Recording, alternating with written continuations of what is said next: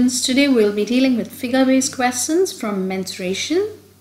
The diagram shows a solid cone, so you're going to talk about a solid cone here with radius 7.6 centimeters. So the radius of the cone is going to be 7.6 centimeter.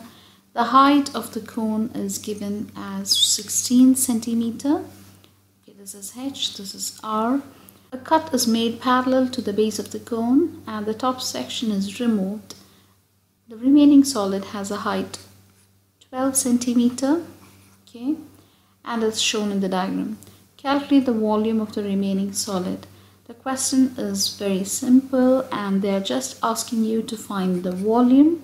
A shape like this is called a frustum. A frustum is formed when you have a cone and the top part you have a parallel line and the top part is being cut off. So when you remove a cone when you subtract a top part which is again a cone what you get is a frustum so your question is to find the volume of this frustum and you have the volume of the bigger cone that can be calculated and you can just subtract the volume of the smaller cone that you have. So this is the simple way, this is a simple approach.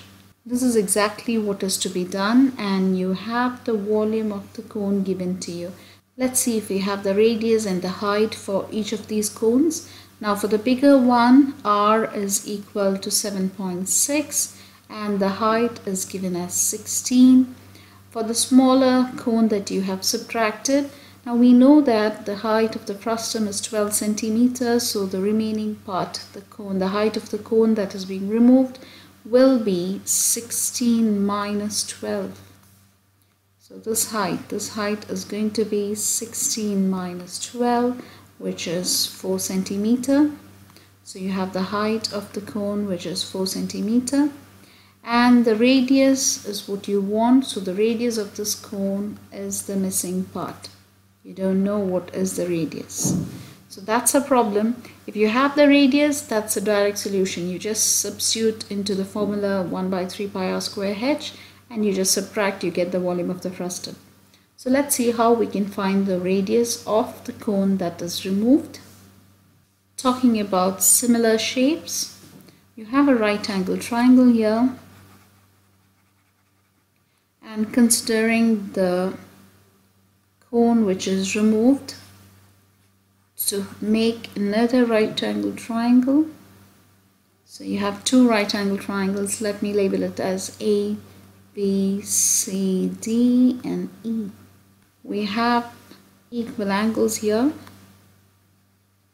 so we can call them as similar triangles. Triangle ABE is similar to triangle ACD.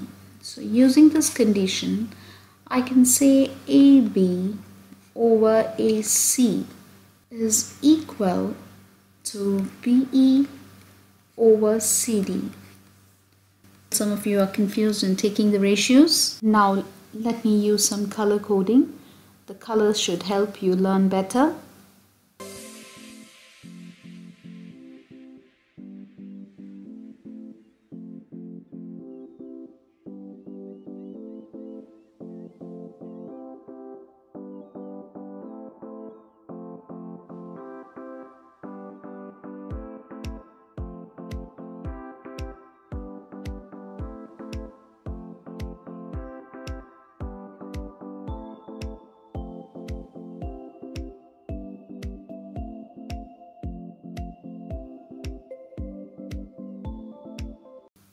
We have already found AB is 16 minus 12 giving you a 4 centimeter and let me substitute the value. So 4 centimeters over AC is the total height of the cone, the bigger cone equal to BE. BE is the radius of the smaller cone which we don't know, it's unknown. And CD is 7.6 centimeter which is the radius of the bigger cone. So from here, R is going to be 4 multiplied by 7.6 over 16 is going to be your R. It's going to be equal to 1.9 centimeters. As we have discussed in the beginning, the volume of the frustum will be equal to the volume of the big cone minus the volume of the small cone, which is one third pi r square h. Now here you have the formula minus the volume of the smaller one. Substitute the values accordingly.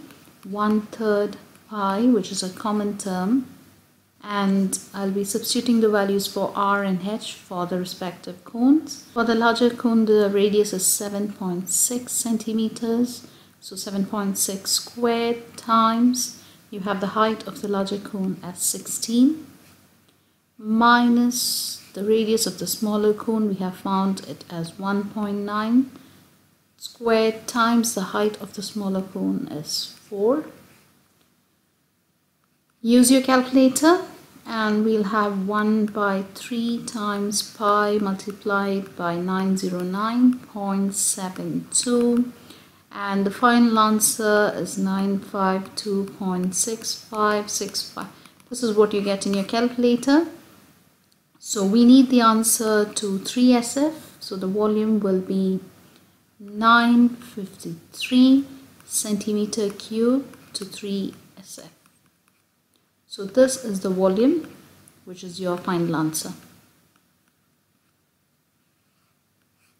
For a frustum of a cone, adding some additional information regarding an alternate method for solving this question. The volume of a frustum of a cone can also be given by the direct formula where you're considering the radius at the top is r1 and at the bottom side is r2. The height of the shape is given by the letter h.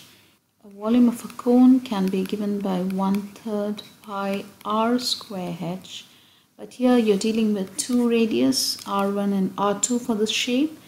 So the volume of a frustum of the cone is given by one third pi times the radius is r1 squared plus r2 squared plus r1 multiplied by r2 times h. So this is the formula. For the previous question, once you have both the radius, you can directly apply this formula and find the value. One third, 1 by 3 pi r1 square plus r2 square plus r1 r2 times h. So this is the formula that I would like to add.